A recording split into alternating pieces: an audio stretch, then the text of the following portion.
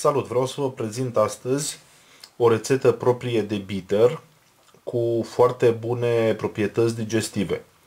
Ehm, după cum se vede în, în fața voastră, se află destul de multe plante aromatice, sunt uh, foarte cunoscute. Aș începe cu teiul, cu coada șoricelului, coada calului, mentă, gălbenele, armurariu, anason, păpădie, cuișoare, chimene și așa mai departe. Voi trece repede în revistă uh, efectiv pungile și cutiile din care am luat aceste uh, fructe și plante pentru a le putea găsi și voi cu mare ușurință în, uh, în magazine sau în farmacie. Deci stafide, merișoare, măceșe, foarte multe dintre dintre aceste plante le veți găsi în uh, raioanele de condimente sau în farmacii. Mușețel, tei, anason, apreciez în mod special gustul aromat și ușor dulceag al, uh, al acestor uh, semințe de anason. Busuioc, chimen, un derivat al chimenului, chimionul, sunt uh, niște semințe puțin mai mici și puțin mai deschise la culoare, cu gust foarte ușor uh, diferit. Păpădie, foi de dafin, cimbru, Bineînțeles că nu putea să lipsească pelinul, însă este într-o cantitate destul de mică. O să vedeți imediat. Cătină. Cuișoare. Apreciez de asemenea gustul uh, special și ușor uh, înțepător și foarte aromat al acestor uh, cuișoare. Afine. Coada șoricelului, fenicul,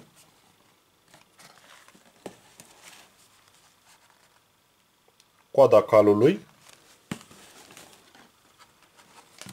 mentă. În mod normal mentă aveam în curte, însă ar trebui să o iau, să o suc și apoi să o prezint. Am preferat să merg direct pe, pe plante uscate pentru a nu mă încurca la conținutul de apă. Uh, galbenele, de asemenea așa ceva am în curte. Armurariu este o plantă foarte, foarte des întâlnită. Sunt acei ciulini foarte mari care cresc uh, cam pe peste tot, însă puțină lume știe că această plantă este foarte, foarte bună pentru regenerarea și protejarea celulelor hepatice. O recomand cu foarte mare căldură.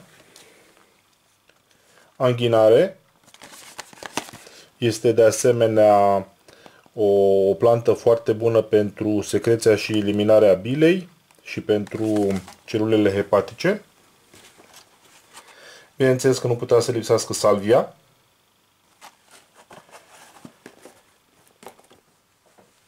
Aici, în afară de ce am prezentat aici, mai am niște vâsc.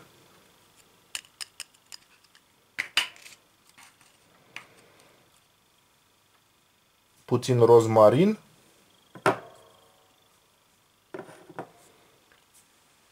boabe de cafea. Și, și cam atât. Deci, tei, coada șoricelului, teiul am 12 grame, coada șoricelului am 10 grame, coada calului 10 grame, mentă 10 grame, am preferat să merg, cum am spus, pe pliculețe de, de plantă uscată, gălbenele 10 grame, anghinare 7 grame, fenicul 3 grame, salvie 7 grame, cimbru, este foarte cunoscut și foarte, foarte aromat, 8 grame, vâscul 7 grame, dafinul 3 grame, cred că sunt vreo 15 sau 20 de frunze, afine 12 grame, armurariu 10 grame, anasonul 10 grame, păpădia 10 grame, cătină 5 grame, busuiocul 5 grame, pelinul 2 sau 3 grame este foarte amar și eu aș pune chiar 2 grame, mânceșe 12 grame, rozmarinul tot așa între 3 și 4-5 grame, mușețelul 5 grame, aici se pot pune și chiar și mai multe grame de mușețel, poate până spre 10 grame, chimion 2 grame, cuișoare 1 gram, cred că sunt vreo 10 sau 12 cuișoare, uh, chimen tot așa 2-3 grame, am aici și un amestec de merișoare și stafide, sunt cam 50 de grame cu 50 de grame, în total aici sunt 100 de grame. Și boabe de cafea sunt 10 uh, grame. Toate aceste ingrediente le voi pune într-un uh, borcan, într-un borcan de sticlă, cu capac, care se închide foarte bine. Este un borcan de 1,7 litri. Peste toate acestea voi pune apoi cam un litru de alcool tare. Am uh, ceva palincă din producție proprie de 75 de grade și voi lăsa tot amestecul la macerat timp de 3 săptămâni. Cam uh, jumătate din uh, ingredientele prezentate sunt uh, plante medicinale. Dacă nu le cunoașteți, uh, o căutare pe internet după numele fiecăreia vă va oferi toate informațiile de care aveți nevoie. Sunt uh, plante foarte bine cunoscute și foarte des întâlnite în medicina tradițională.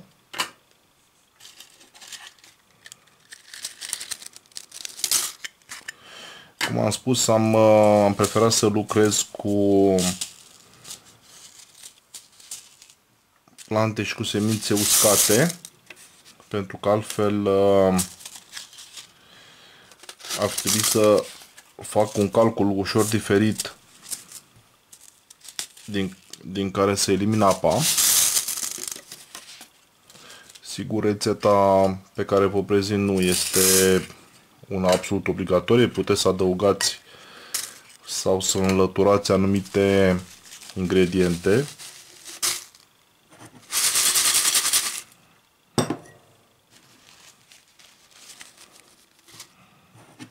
Plantele pe care le am în pliculețe o să le las în pliculețe deoarece îmi va fi mult mai ușor să strecor bitterul după macerare.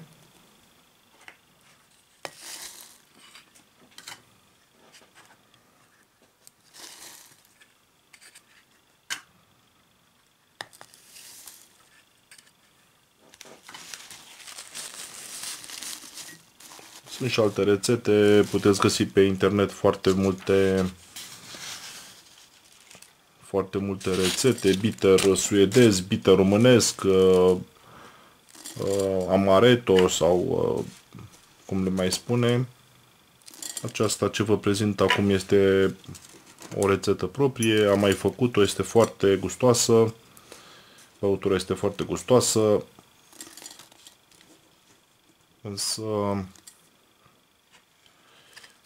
însă ușor amară. Sunt mai multe ingrediente aici amare și noi o folosim și, cum am spus, pe post de băutură digestivă. Adaug felinul, 2 grame, rozmarinul,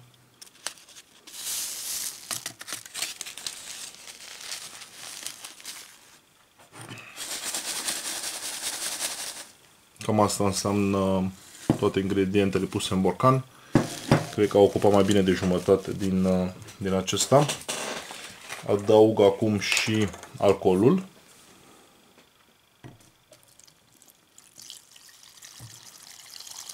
Sunt într-un bidon de 2 litri.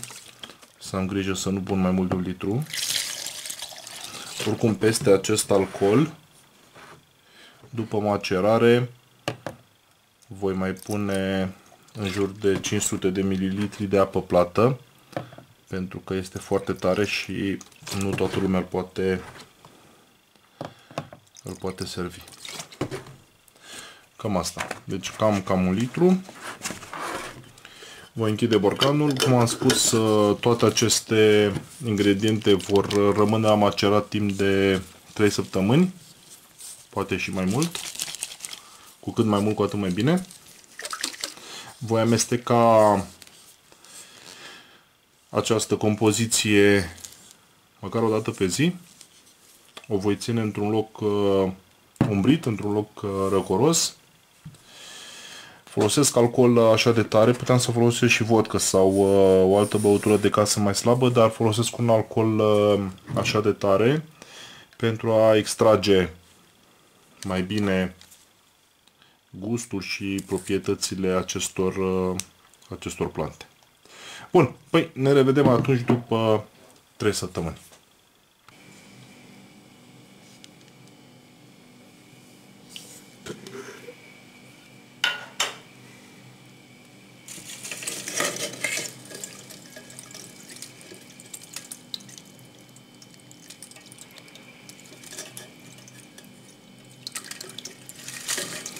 Până tot.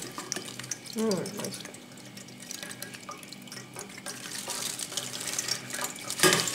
Deci au trecut 4 săptămâni de când am pus toate aceste ierburi în, uh, în alcool macerat. A venit momentul să le scot.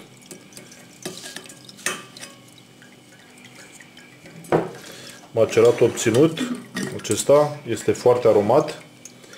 L-am gustat și este de asemenea și foarte amar. Voi lăsa puțin să se scurgă aceste, aceste plante din, uh, din sită. Apoi uh, voi amesteca maceratul cu o jumătate de litru de apă și cu două linguri de miere.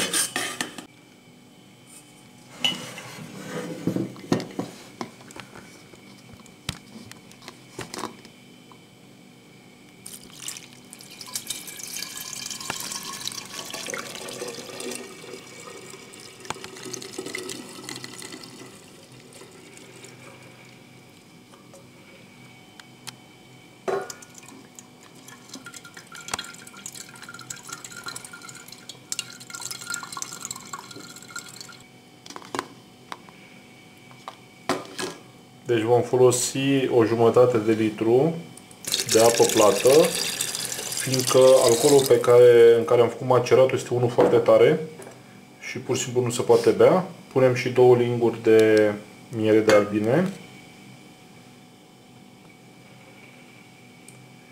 Vom dizolva mierea în macerat și o vom pune într-o sticlă. Să vedem imediat.